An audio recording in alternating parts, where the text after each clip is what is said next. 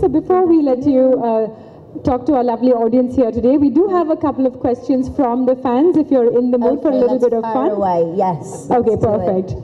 So this is from Santosh T90 on Twitter. He said, "What was it like working with two big stars of Indian cinema, and were you nervous at all during the process?"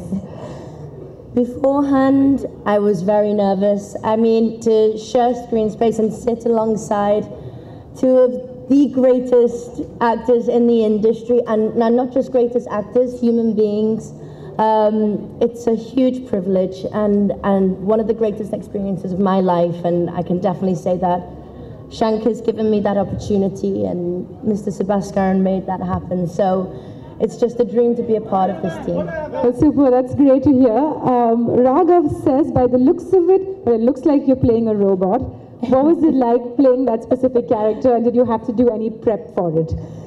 Yes, it was very difficult because I'm very um, animated and robots are not. So Shankar got me into that zone and um, I had to be more reserved and think like a robot. You- you- you got it, you well, got yeah, it, no, yeah. I'm, I mean, I'm channeling it now.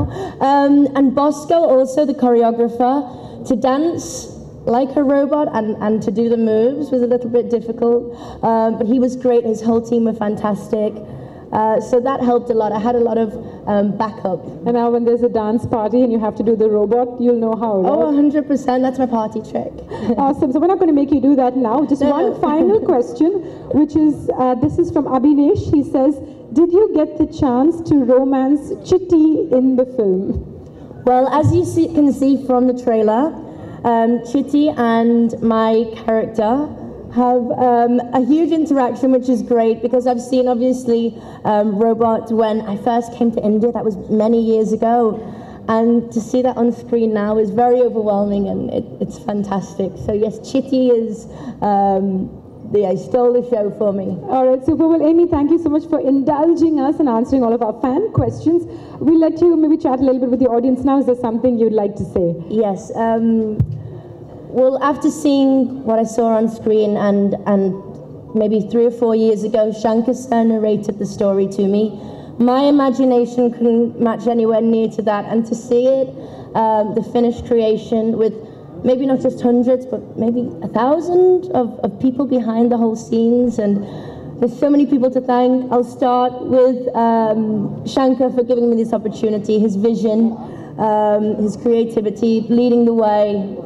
Mr. Rajinikanth, of course. As I said, it's it's one of the best experiences of my life to act alongside you, sir, and Akshay also. So I'm, I'm very fortunate in that respect. Um, Nirav, this is the second film we've shot, the third film we've shot together. So there's so many memories, but um, along the way, I thank you for all your support, and you're just fantastic. Mutarajji, the sets, the scenes, the, the songs, it doesn't look like it's from this planet, it looks out of this world. So to be a part of that was fantastic. And the, I didn't even know 4D existed, by the way. So thank you, Mr. Pookutty, because that was new for me. Srinivas, again, thank you so much. Anthony, third film again. So it's a pleasure. Fourth? Oh my gosh. And, and Silva, thank you for flying me around the sky and harnessing and all the, the stunts. Um, and Mr. A. R. Rahman, of course. Uh, I, I couldn't have, have um, had it with anybody else and, and to dance with. He really set the tone. But most of all, Mr. Sebastian, thank you very much because this has been done through you and uh, I'm very proud and very happy to be a part of it. Well, thank you so much, Amy. Let's hear it for the dream team on stage. Thank Once you. again, we'll let you take